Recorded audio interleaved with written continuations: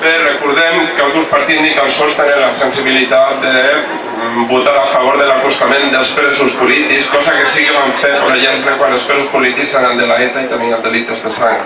Els nostres no en tenen i en canvi han votat en contra de, de l'acostament. Dit això, dit això eh, la gent pregunta per què serveix aquestes concentracions? Serveixen per dues coses, principalment. La primera, perquè els nostres presos polítics sàpiguen que els en recordem d'ells, que hi som, que hi serem, que no ens cansem, que és igual que faci fred, que faci calor. Nosaltres vindrem cada mes aquí simplement per recordar-los que hi som i que se'n recordem d'ells.